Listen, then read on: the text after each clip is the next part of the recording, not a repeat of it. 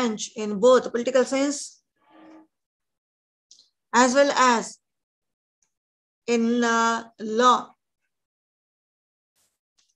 That is comparative constitutions, comparative study of different political systems. See what is happening if a political scientist is planning to study various political systems, he will be using social anthropological methods. I've already mentioned field work, descriptive analysis, and all that. But what are the differences between these two? First and foremost difference is what is the subject matter of these two sciences? Social anthropology is a comprehensive study of human being political science, economics, or geography, literature, or psychology, they are not comprehensive sciences. They take only one dimension of human life. Second one is, though all these social scientists are using social anthropological methods, they are not the only methods which they use. They have various other methods also in order to collect data and analysis. For instance, scientific method, where we will be collecting data by using questionnaire and all that. Or other scientific method where we'll be asking a person to sit in a relaxed way and narrate how he feels, what he remembers and all that. For instance, if you take political science, if you want to know whether BJP party is going to win, now we are having elections in five different uh, states. Whether BJP is going to win or not, what we usually do, we have one separate branch in political science, psephology, it is known as. In psephology, we will be giving questionnaire to the persons and will be collecting data from them through questionnaire. Or we can also take opinion poll or opinion survey. In fact, in some of the countries, opinion survey, which is nothing but a kind of questionnaire, questionnaire come interview,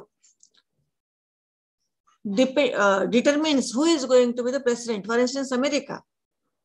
In America, unlike our country, it is not only voting. Prior to that, we conduct opinion polls there. And on the basis of opinion polls, weightage will be given to the candidates. In other countries also, usually, for instance, in UK also we usually follow, but there we are having monarchy still. It is not completely democratic country. Still, we are having prince or queen, etc.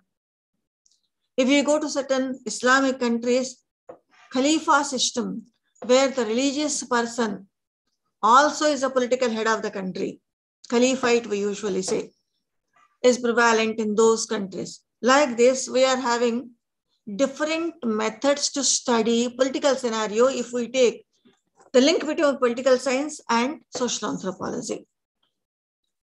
We have to see the result of connection between social anthropology and political science, similarly, social anthropology and economics. When social anthropology conjoins with political science, there emerge a new branch in anthropology, that is political anthropology. It studies the origin, develop, emergence, and development of political institutions in tribal societies, not in modern societies, but in tribal societies. Anyway, we are going to discuss about these aspects when we talk about political systems or polity in tribal societies. Similarly, we have economic anthropology. Herskovits, I have already mentioned his name just now. Herskovits is termed as father of economic anthropology. He described the development of various economic systems on the basis of his tribal community and their studies. Similarly, we have Kroeber or Henry Maine or Gordon Childe. All these persons are termed as economic anthropologists. They study, uh, they studied the primitive communities in order to understand the origin development of various economic institutions. Psychological anthropology I have already made a mention in our last class. there is a link between psychology and social anthropology. Psychology, of course, talks about only one person, what he usually do, how he thinks, how he develops relationships and all that. It also talks about the psychological characteristics of human beings. This part is a part of social anthropology. In social anthropology, on the basis of various primitive societies and their study, we usually come to certain conclusions like people belonging to this particular area will be having this type of psychological characteristics. So that is known as psychological anthropology. Besides this, social anthropology also is linked with literature. You may say literature is not a social science. How social anthropology is linked with? there is a link. The reason is whatever information we should have in order to study.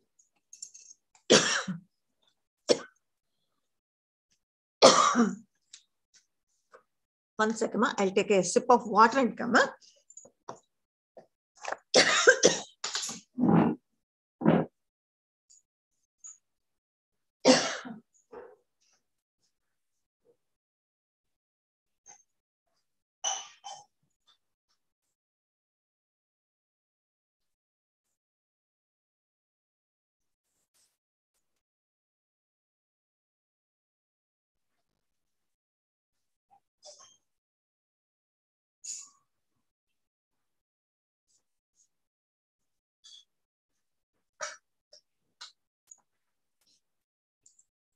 Most of the tribal communities are pre-literate societies. They don't know how to record their history. But still we are having so many aspects. One such aspect is literature. Their songs, their stories, their mythological stories, all these provide inputs for our study of tribal communities. In this context, literature is directly linked with social anthropology. Let us take a simplest example very recently Nagoba festival we have performed in Telangana state. Similarly, we are going to have other festival, namely Medaram Jatara. I think these names are familiar to you, right? Or you might have heard about a particular tribal community like Gonds.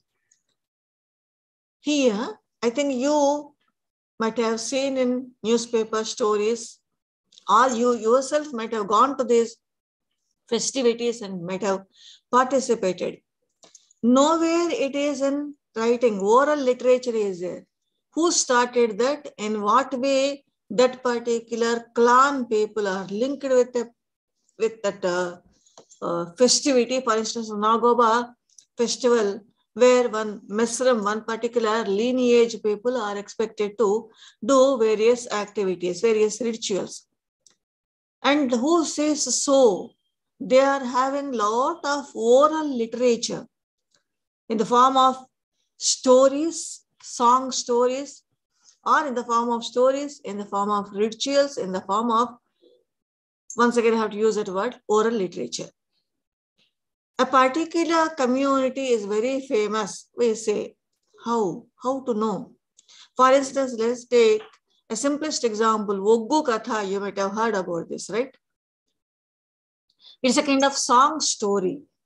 And what this song story talks about, it talks about the origin of a particular community and its ups and downs or development as well as progression of a particular community, tribal or non-tribal. I'm not going into that discussion here, but a particular tribal community. We are having certain stories like a Katamaraju Katha. And this Katamaraju Katha is once again a story of a particular community. So this all these are literature. If you are studying social anthropology, you will be gaining information from these stories only. These song stories only. Hence, literature as well as social anthropology are closely linked together. And many social anthropologists have used literature in order to know about the community, whatever community they are studying. For instance, Badaga, Toda, or Khond, all these communities were studied by anthropologists in our country, not our people, Indian people, but Western societies British anthropologists as well as American anthropologists have studied them. Later, many British anthropologists started studying villages, village studies during 1950 to 1970. We have so many village studies. Many of them are from, let us say, Britain, Oscar Lewis or William Mark, Wiser, to name one or two. They are all from Britain. They are not from our country, but they studied these village communities in toto in a comprehensive way. And while studying, they have taken inputs from the literature and all that. So this is in a nutshell about social anthropology. It's relationship with other social sciences like sociology, uh, political science, economics, psychology, literature. And one aspect is that just like sociology and social anthropology, even here also, we can consider them as twin sister, that is history. History talks about what has happened, not the present one, not the future one, but what has happened, the past. Even social anthropology also describes past, how we used to be, how we have developed. So here there is a similarity between history and social anthropology. One difference we see here is history talks about human beings, human societies, etc. When script started, prior to that, it will not say anything. You please try to read any historical accounts or history in general. We usually start with one political scenario or one political leader, kings, and uh, what type of, let us say, expansion for their empire. What did they do? Or what type of reforms they have introduced. We usually study in our history. All these are linked with only written documents. These written documents may be anything. They may be, let us say, literary works, they may be kaifiyats, or there may be some letters between persons or kings, etc., etc. Or there may be some inscriptions. But all these are in writing. They will not take unwritten history or pre-literate societies into their fold. Whereas social anthropology concentrates on, focuses on pre-literate societies. The subject matter, though, talking about origin, development, etc., etc., but what type of information they are collecting from whom, the inputs part is different between history and social anthropology.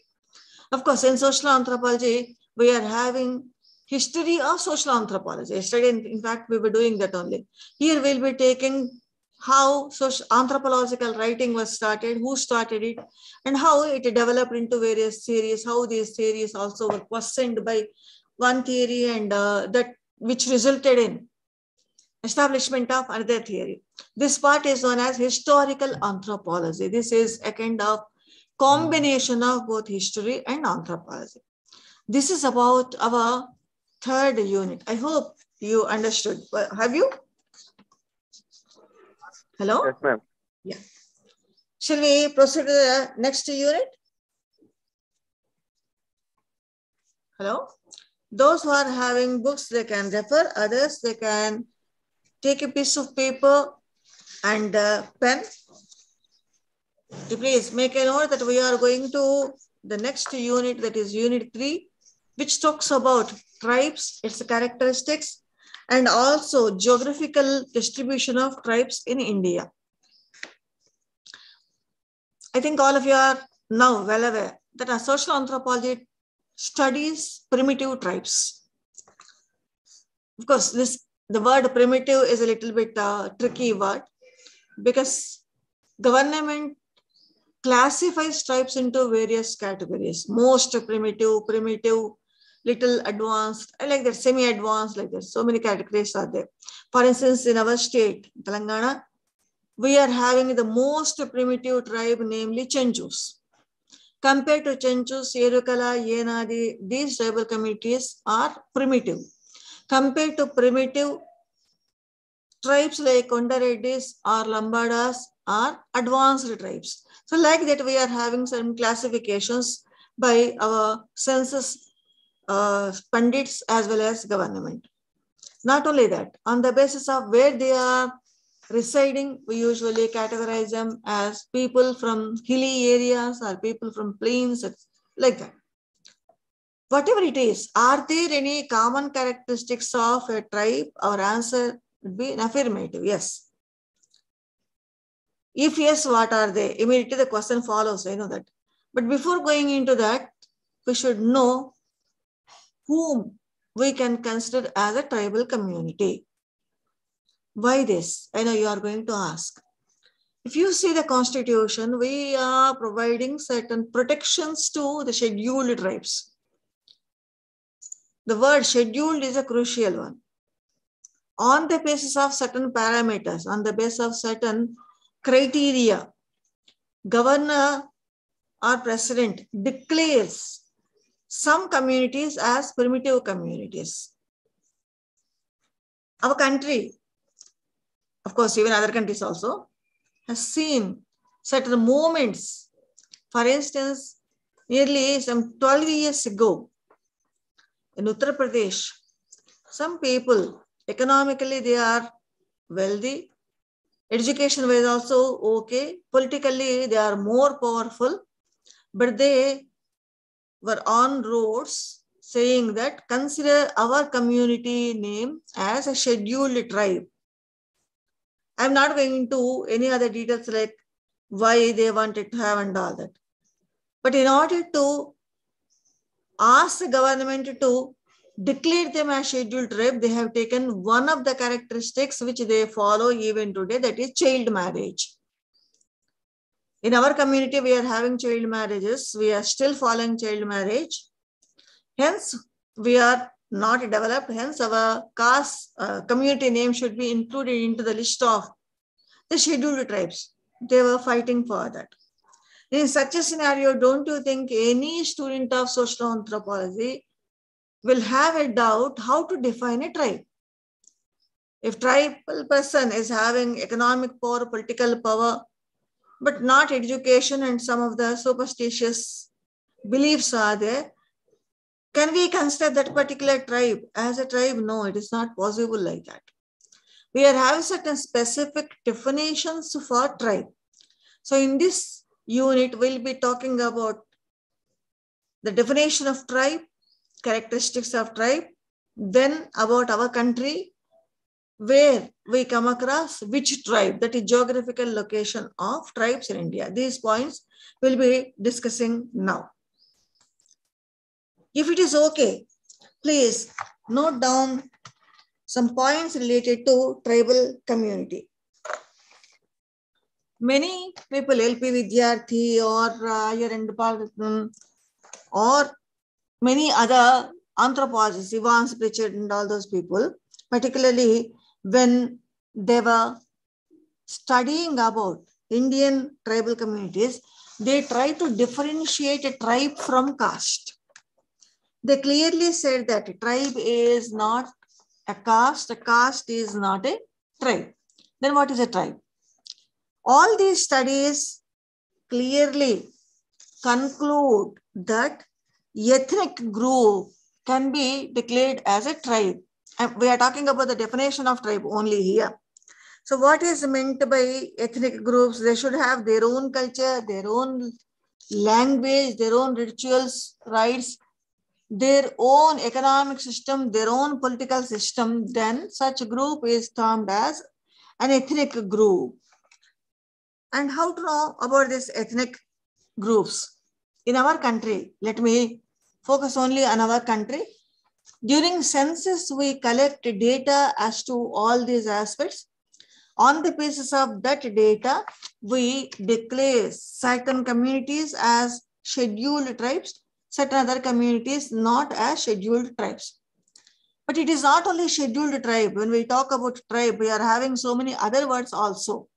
For instance, we call them as native people, aboriginals or originals or indigenous people, or in our country, we call them as Adivasis also. Right? Here, are there any specific definitions for tribe? This question definitely follows after saying ethnic group, all these words and all that. Our answer will be definitely in affirmative.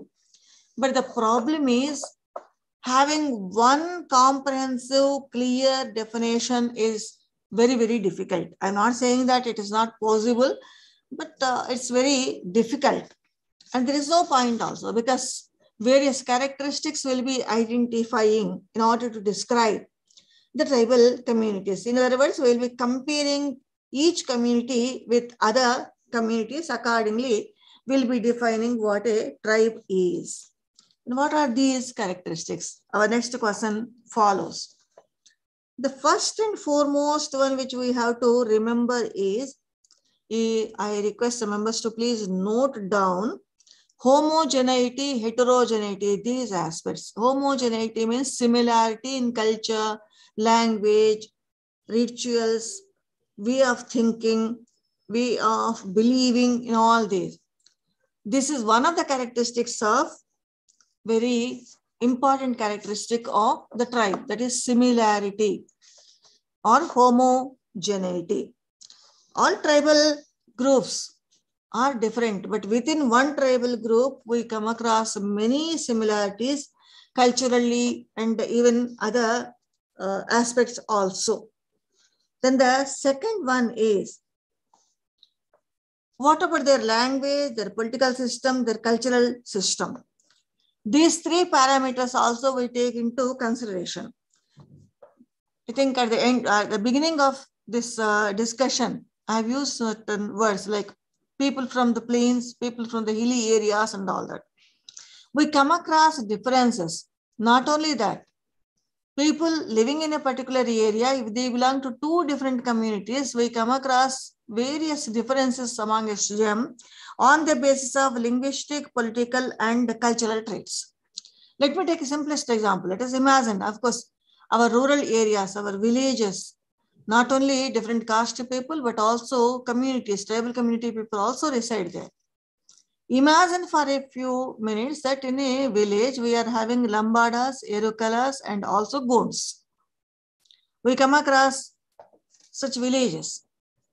For instance, if you go to certain districts, we come across many Lambada people, but they are not living in Tandas.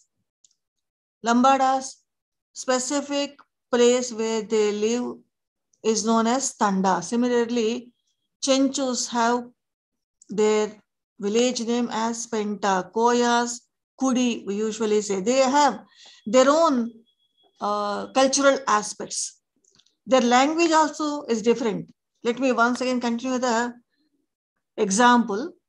Lambada speak their language, Gonds their language. Similarly, Erukala or Yenadi or Koya or Chenchu, they too have their own languages. So linguistically, they are different. Even politically also. Say, for instance, Ocha or religious priest plays a vital role in Lambada society or Gond society. Along with them, political leader also will be there. For instance, Tanda Nayak is a political leader among the Lambada. Similarly, Gond Nayak also is a political leader among the Gonds. Here, this type of political system will not be there among the Chenchus or Erukala. So their political system is entirely different. For instance, Chenchus have Kudi and uh, Zarpenta, that is their residential area, but they are also have a kind of council system. All village elders or Chenchu village elders will be the members in that particular council. So what is happening? Politically, they are different from other com uh, tribal communities. Linguistically, they are different. Culturally, also, they are different. Another dimension, let us take into consideration how tribal communities define themselves. It's a kind of feeling. They feel that they are exclusive, they are unique, their community is unique. This is a major difference between tribal communities and non-tribal communities. In non-tribal communities, we're all taught and we follow that. We, the Indians, umpteen number of communities are there within our country. Even if you take, let us say, political classification on the basis of states, you know how many states are there? And accordingly, you are having how many state people are there? Andhra people, persons who speak Telugu language. But now we cannot say Andhra people. The reason is Andhra Pradesh is different and Telangana is different. Both Andhra Pradesh and Telangana, these two areas are Telugu speaking areas. Most of the people, 90% of the people speak Telugu. But here, we usually identify ourselves in a particular way. On the basis of what? If you take language as a parameter, the dialect may become a parameter for us to differentiate ourselves from other community. For instance, if you go to the northern part of India, many people speak Hindi. Let us imagine the simplest example. If you go to Delhi, of course, the language is Hindi, no doubt at all. But Hindi, as spoken by the Punjabis residing at Delhi, as spoken by people from Uttar Pradesh or Vidarbha area or Jharkhand area or people from Bengal and nearby places, you can come across the differences here. How they talk, what words they use and all that. And on the basis of that, they usually identify themselves as one community. In tribal communities, this type of identity or this type of identification is very, very crucial. Each tribe claims that they are different. And uh, because of this uniqueness, they have to be with them only. They should not mingle with other persons beyond a particular limit. This, most of the anthropological studies describe as resistance to change. Tribals show lot of resistance to change. They never change. Many times I usually hear students, particularly undergraduate and graduate students saying that, I mean, while conversing with me, madam, they never change. They are highly backward. They never send their children to schools and all that. They usually complain, those who have not studied sociology or social anthropology, but they will not. The reason is the culture which we are imposing on them is not from their culture. It is a new one. And obviously the resistance to change will be there.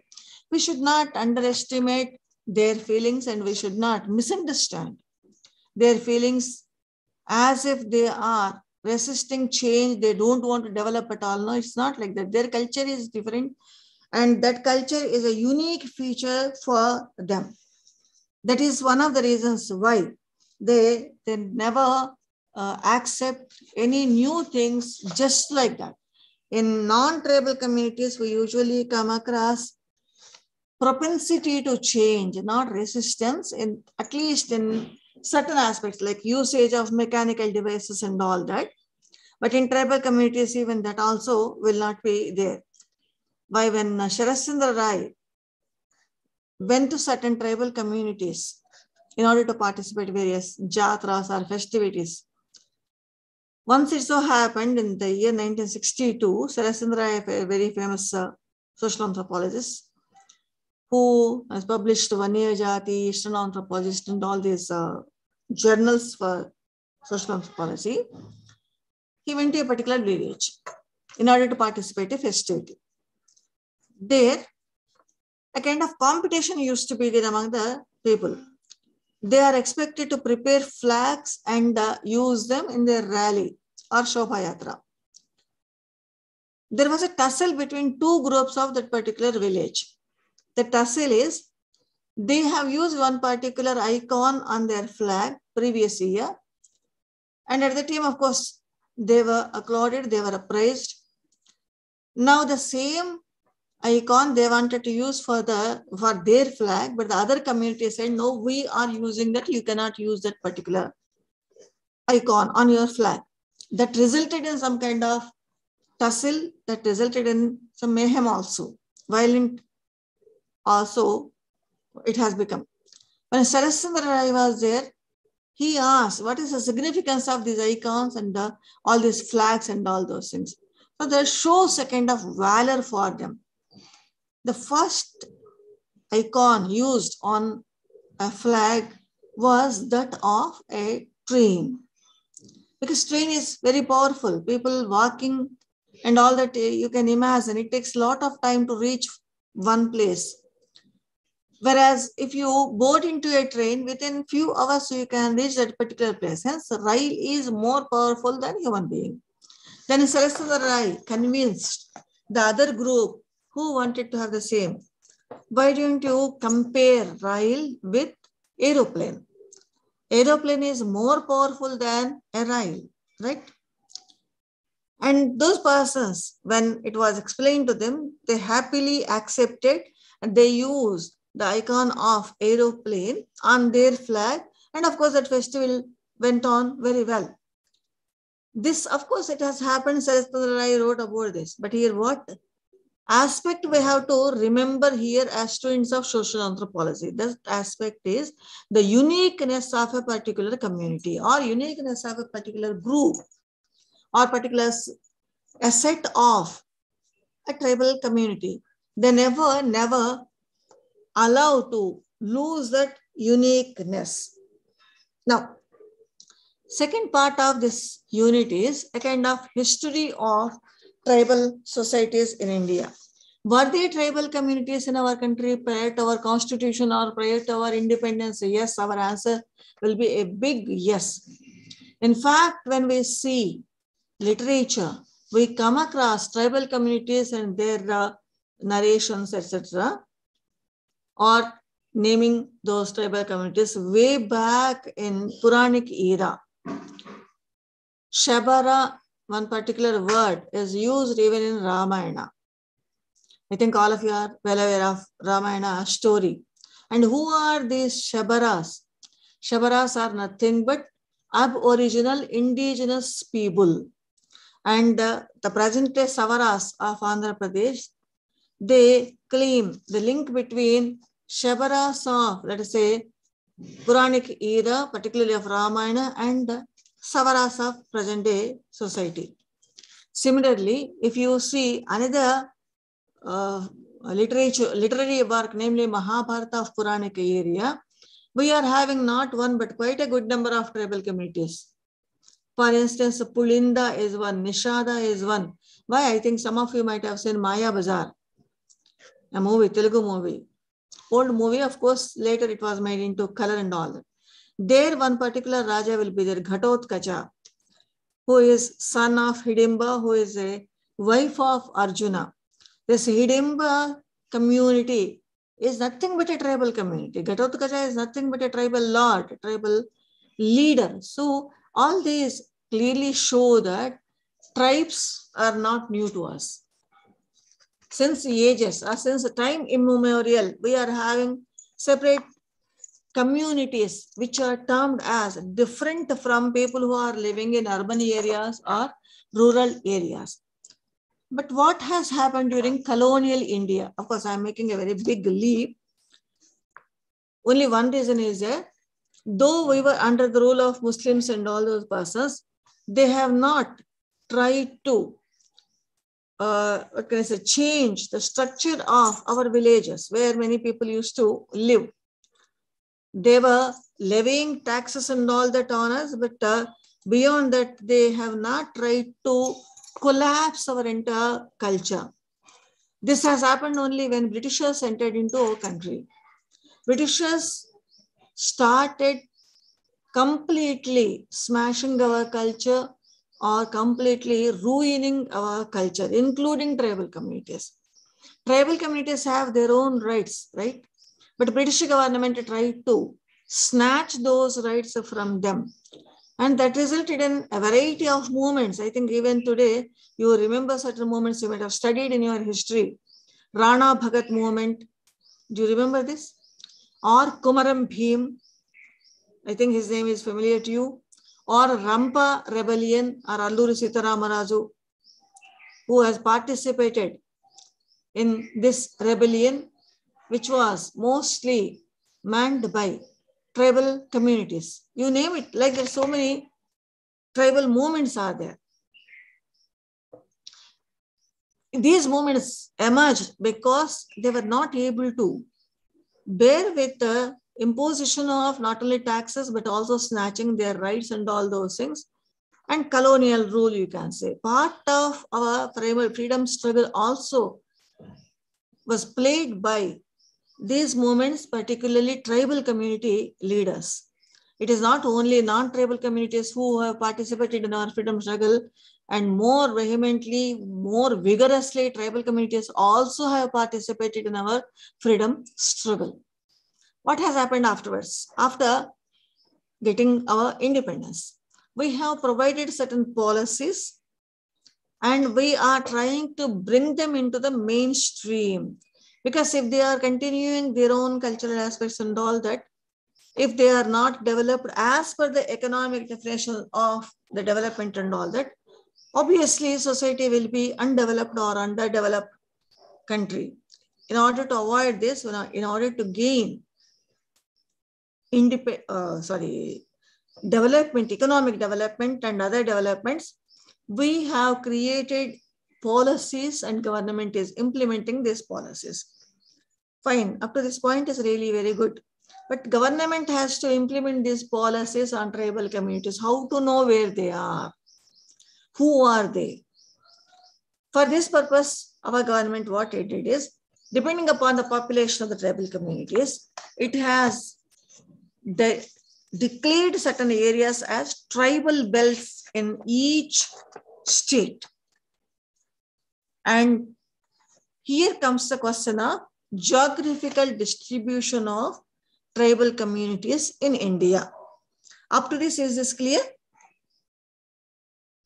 Hello? Hello? Hello? Up to this, is this clear, ma? Yes, ma'am. Okay, now let me uh, share one video which talks about tribal communities of India, particularly their population uh, uh, compared to a total population. Later, we'll see the distribution of tribal societies and various tribal communities and all that in our country.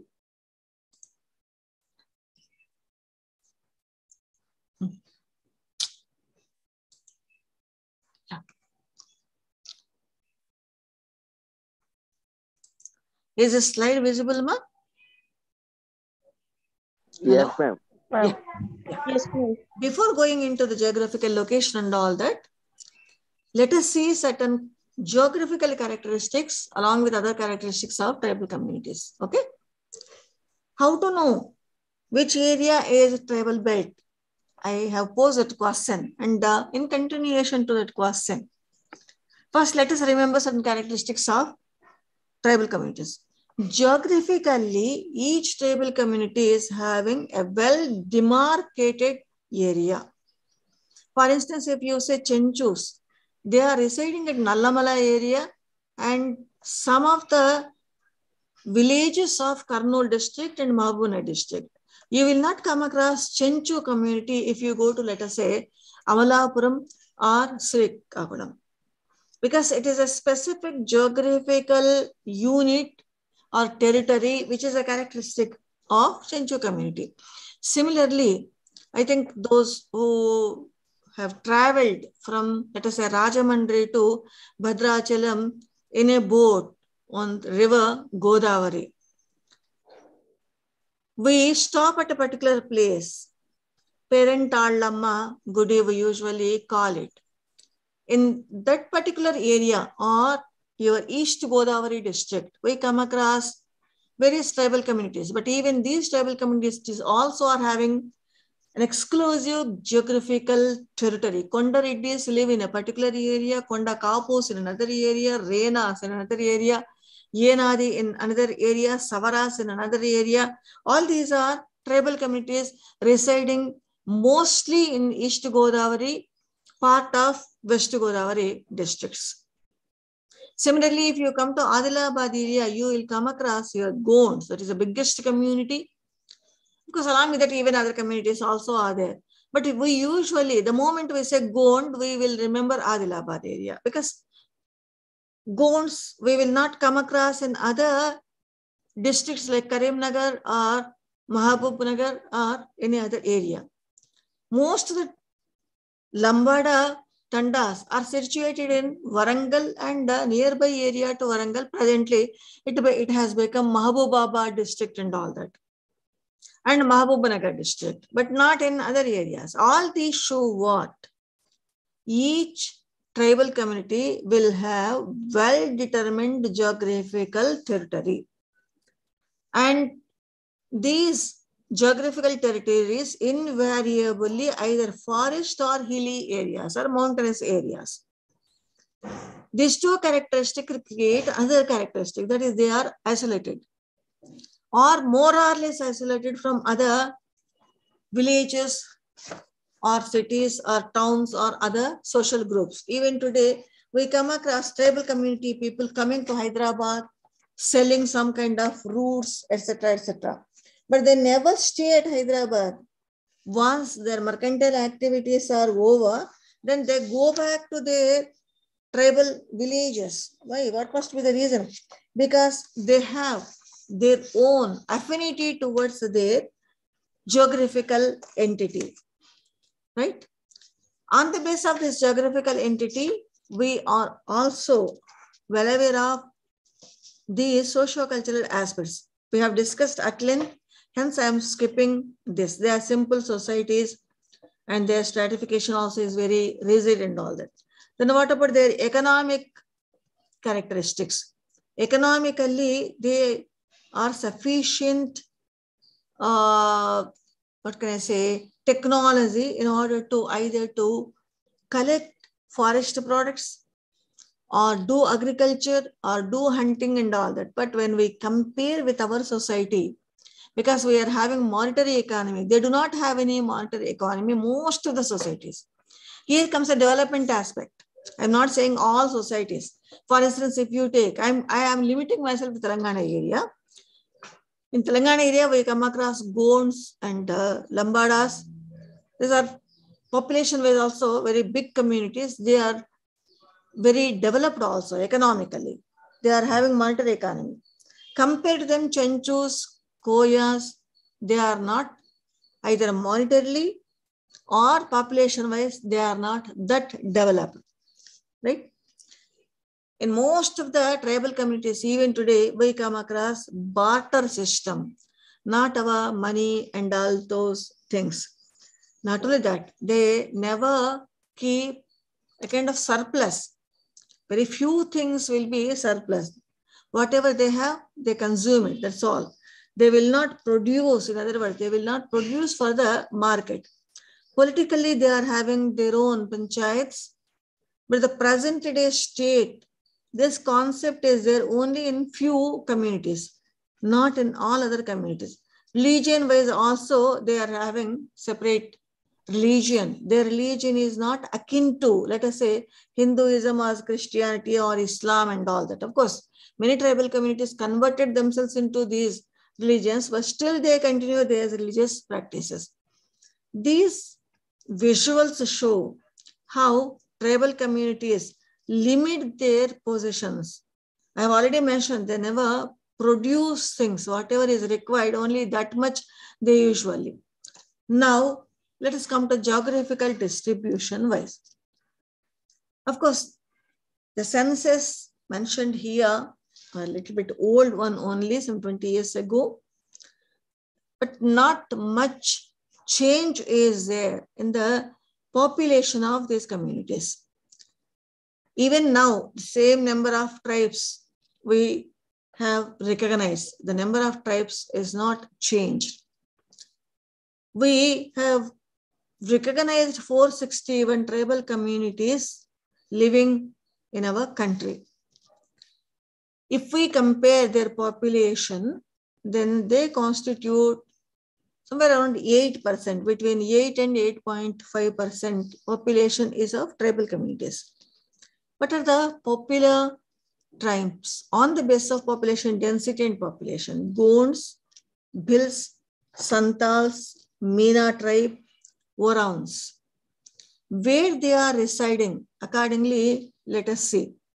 If we divide our country into five zones, for instance, northeastern area, Himalayas, Sikkim, etc., we come across major tribes, Naga, Mizo, Adi, Lepcha, Gaddi, Khasi, Garo, Jaintia, Bhotia. Similarly, if you take western area, we come across Bhils or Rebari or Meena.